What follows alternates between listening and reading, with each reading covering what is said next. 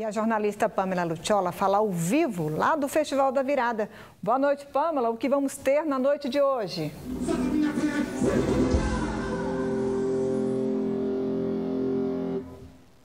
Oi, Carol, muito boa noite, muito boa noite a todos. Pois é, já estamos no terceiro dia do Festival Virada Salvador, que acontece aqui na Arena Daniela Mercury, na Boca do Rio. A festa começou no sábado, dia 28, e só termina dia 1 de janeiro. São mais de 25 atrações, mais de 70 horas de música. Muita coisa já rolou, mas ainda tem muita festa para acontecer.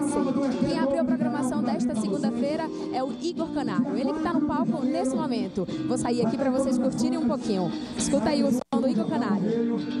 O EPESão 2020 do Canário. EPESão Resiliência. Mais uma nova. Não pisando no barro, batendo na lata, esse é o meu jeito. Vendo minha mãe sorrindo, o povo aplaudindo, eu fico satisfeito. Eu sei que não sou perfeito, todo mundo tem defeitos. E assim vou ganhando o mundo com minha verdade no. Aí, esse é o Igor Canário abrindo a programação desta segunda-feira, mas você que está em casa, está na dúvida se vai vir para cá ou não, ainda tem muita coisa para rolar, viu? Depois do Igor Canário tem Harmonia do Samba, ainda tem a música eletrônica do Alok, depois tem o sertanejo do Gustavo Lima e do Wesley Safadão, e a noite termina com Piscirico. Para vocês terem uma ideia, é, a última atração, que é o Piscirico, deve entrar no palco às três e meia da manhã, então é festa noite adentro. Mas olha só, a Band está aqui desde o primeiro dia, acompanhando toda a programação. E hoje, a partir das 10h45 da noite, tem Esquenta Salvador, trazendo o que de melhor está rolando no festival. E amanhã, também, a partir das 10h45 da noite, a Festival Virada. E quem faz a contagem regressiva para a chegada de 2020 é Ivete Sangalo. Mas agora vamos ver o que é que rolou na noite de ontem. Teve Anitta e foi muito legal. Veja aí.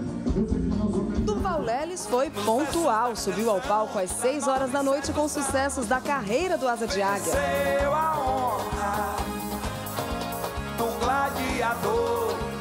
E até os seguidores de outros artistas se renderam ao axé. Aliás, democracia foi o que a nossa equipe encontrou ao circular pelo Festival Virada Salvador neste domingo. Faixas na cabeça, cartazes, cada um com seu ídolo, mas todos no mesmo lugar. Em seguida foi a vez da banda Paralamas do Sucesso. A cada música comandada por Herbert Viana, o público se animava. Melry, de 69 anos, levou até o filho para o show. 10, melhor banda, eu só vim por causa deles. Uma das artistas mais esperadas, sem dúvidas, foi ela, Anitta, que subiu ao palco por volta das 10 horas da noite. Mas daqui embaixo a turma acompanhou tudo, principalmente alguns bem pequenos, que nem, olha só, piscaram. Foram muitas crianças, de todas as idades. Que música é a sua preferida? Contatinho. Anitta falou sobre a polêmica relação com a cantora Pablo Vittar e que adora fazer shows em Salvador. Por mim tá tudo ótimo, não tem nada contra ela, a gente pode falar, não tô, tá tudo certo pra mim. E para 2020 ela adiantou, hein? Nada de filhos. Esse ano de 2020 eu quero tirar mais férias, assim, sabe? Pensar no filho. Não que filho, menino, filho depois, pelo amor de Deus.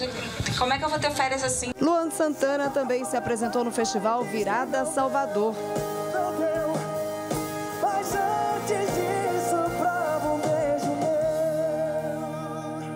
A dupla Simone e Simária encerrou a noite.